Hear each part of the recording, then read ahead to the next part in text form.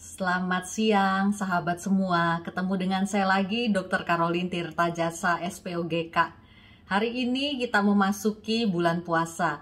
Bagi yang muslim dan muslimah, saya mengucapkan selamat berpuasa, semoga puasanya berjalan lancar dan uh, banyak berkah tentunya ya.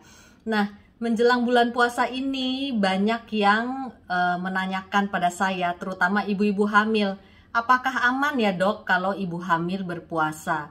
Tentunya saya akan membahasnya dari segi medis ya.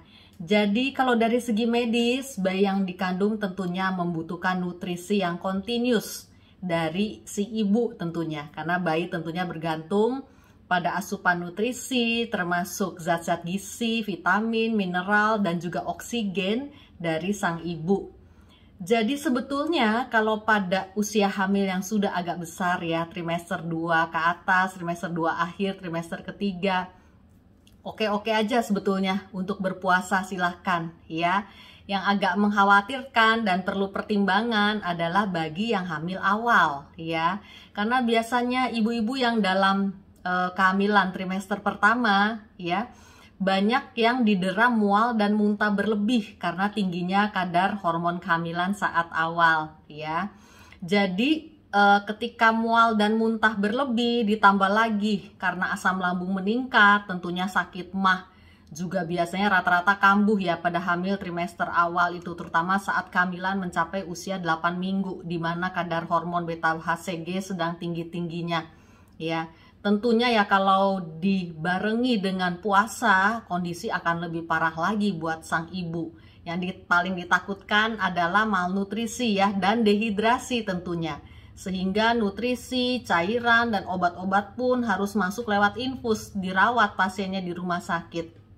Jadi pada kondisi seperti ini tentunya puasa tidak dianjurkan juga pada kehamilan-kehamilan di mana si bayinya ini kecil ya kecil dalam arti mengalami IUGR intrauterine growth retardation. Nah, apakah IUGR itu sebetulnya ada IGTV-nya tersendiri sudah saya buat ya topiknya IUGR intrauterine growth retardation atau perlambatan pertumbuhan bayi di dalam kandungan.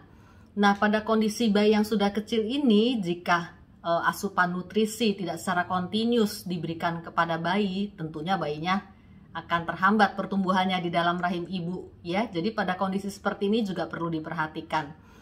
Juga pasien-pasien hamil dengan kondisi diabetes dalam kehamilan yang sedang mendapat suntikan insulin ya.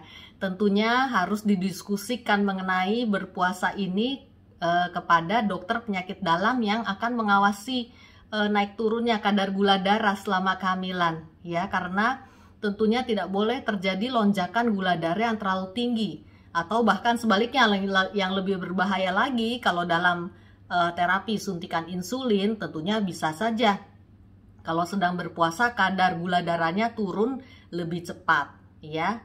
Jadi eh, semua kondisi kesehatan ini memerlukan pemantauan khusus juga uh, pada ibu-ibu yang mengalami resiko kelahiran prematur ya, bayi lahir kecil. Itu juga perlu perhatian khusus ya, terutama untuk ibu-ibu yang hamil kembar atau dengan masalah inkompetensia serviks ya yang sudah diikat dengan sirklase.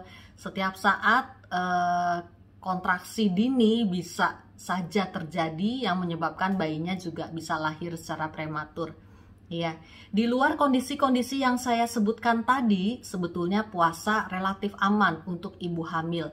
Jadi silahkan saja berpuasa ya selama kondisi ibu dan bayi dipastikan bisa aman.